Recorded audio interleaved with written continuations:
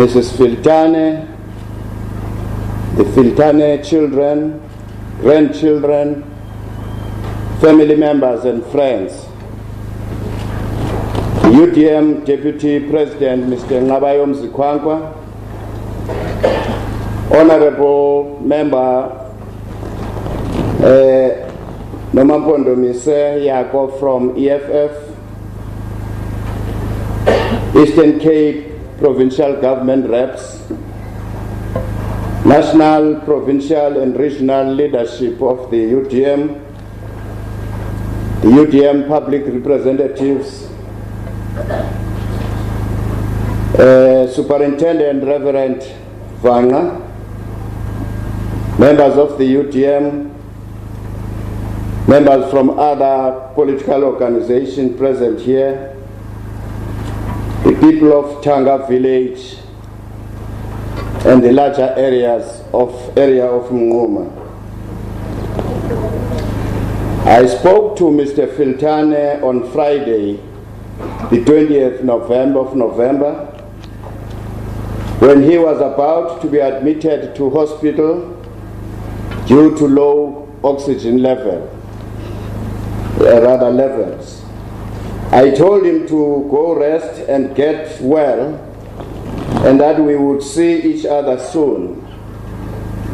When I chatted with Mrs. Filtane, one of the things I said was to take away Mr. Filtane's phone and tablet because he had to rest.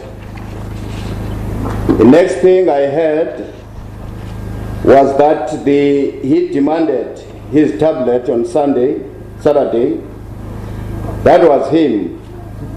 He was clearly suffering from, rather suffering the symptoms uh, of information withdrawal. When I got that early morning call on Sunday from his son Mpatisi, his simple words were, Utata uhambile. It was a massive blow. These past few months have been without a doubt some of the saddest in the United Democratic Movement as history, as well as loss, as, as we lost so many of our senior leaders. May all their souls rest in peace. To Mrs. Filtane, the children, grandchildren, siblings, and all other family members, I want to express the condolences of the entire UDM national leadership and in the name of the party. Zizi will be missed on so many levels, not only in our political activities at the UDM, but also our personal lives.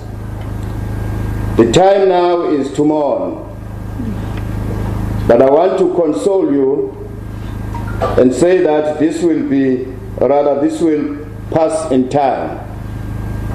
Mrs. Filtane, you are already part of the UDM family. So please continue with your dedication to the party, but only once you feel strong enough. When the UDM Deputy President Nqabayomzi Kwankwa so eloquently spoke at Mr. Filtane's memorial service on Thursday, he said that we should do what is right and remember the life of this man and honor his memory. So I set myself to the task to remember the Mncedisi Filtane I knew. I came across a quote from the late Dr. Maya Angelou that sounded like something he could have said. And I quote My mission in life is not merely to survive, but to thrive, and to do so with some passion, some compassion, some humor, and some style. Close quote. I just want to add a few of his other mission in life. his devotion, discipline, and compassionate service to the people, especially the poor and vulnerable. He was result oriented and he resented failing people. Zizi had a warm personality and a quick and clever sense of humor. Two other things I also recall was Mr. Filtane's love of words, expression and oration, and of course his rabbi, the rabbi. In 1976, when I was playing, uh, when I played number 14 for the Orientals Rugby Club, and we played against his Wallabies team. I once raced for the try line with the late father of the Springbok Ndungane twins, giving chase, he was chasing me. I still have a vivid memory of the Wallabies fans madly shouting or screaming, Mambelo Johnny! Mr. Filtane and his close friend, late Mr. Kalaza, were shouting the same thing from behind the poles. So number eight wam kwawalapis kwa-orientals yayingu-white eh, thetha no-white singapha kwe-25 meters wethu ndijonga siyasignalelana ke phaa ithi mna that means a blind side siqama wena phuma utshonele waphuma ibhola kum. Le ngundungane namabathi laba phambi le ndathi ngentloko wangena ndahamba phuma ikalika we had also met each other from time to time during my time as the then head of the Transkei government on issues of business and sport. I remember that he used to live in Node, Banpazam, a grand suburb of Mtata, and now it sadly is a shadow of its former self. More potholes than the roads, than roads. When Mr. Filtane started to explore politics, he bought into the simple truth of the UDM's main goal, which is to better the lives of all South Africans. Our mission statement aligned with his personal values, and I want to share it with you in his memory. I quote, We will unite South Africans from all communities in a new political home built on the foundation of the principles and ideals of our national constitution. To this end, we will address poverty and imbalances in our society inspired by our unifying love of our country and its people. We will set free the creative power inherent in our diversity and we will cooperate with all stakeholders to ensure a quality life and individual freedom for every citizen based on good governance and civil order towards being a winning nation. These were goals he was willing to fight for and for which he worked himself to a standstill. Good governance and civil order were matters of great concern for Mr. Filtane looking after public resources and ensuring that they are used for the social and economic upliftment of our people was paramount in his mind.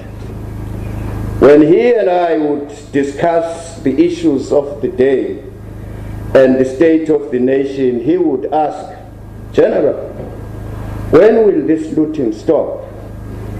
He was genuinely worried about the future of the people of this province in particular. We would recall the Transkei days and activism when we were still young men. When in 1994 came, and in the years thereafter, the people of this province placed their trust in leaders who masqueraded and, parade, and paraded as the savers of the oppressed. Little did we know how misplaced that trust would be. Simply put, the comrades have betrayed the struggle. The revelations at the Zondo Commission and other commissions prove our suspicions that the ruling elite was plundering state coffers to line their own pockets and that of the ruling party itself, taking resources away from the people they claim to champion.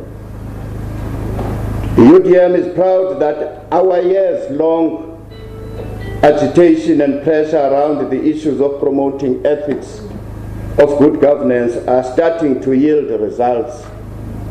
At least Mr. Filtane witnessed the first vestiges of political will to have these criminals arrested. I make this undertaking in Mr. Filtane's memory that whilst the UDM is still around, we will fight anarchy and corruption, tooth and nail. In line with Mr. Filtane's passion to better the lives of our rural citizens, the UDM will continue to cause of having the collapse of Matanzima era infrastructure in the area repaired, upgraded and integrated into the larger infrastructure scheme of South Africa. Mr. Filtane joined the UDM parliamentarians in 2014 and was a complete natural. He was thought of as one of the most hardworking members of the National Assembly. He was always prepared for meetings and, and had diligently studied meetings material. Mr. Filtane had a good mind of, for details which made him well suited for the lawmaking process. He, of course, loved a good debate and was a master of art, rather, a master of, of the artful interjection. In particular, he made a sterling contribution during his time as part of the ad hoc committee to initiate and introduce legislation amending Section 25 of the constitution yendaba yomhlaba yes. Uyafika pha eofisini. Indoda ke inephosha eh, strong ngaphambi kwami eh, general ithini position yethu kule nto yomhlaba did you are the last one to ask me that question? Because sonke sisuka eTranskei usakhumbula umathanzima? Wakhathisha i-ties nepretoria because eclaim umhlaba position ye-udm iclear siyagayisi le nto yenziwa i-ruling party.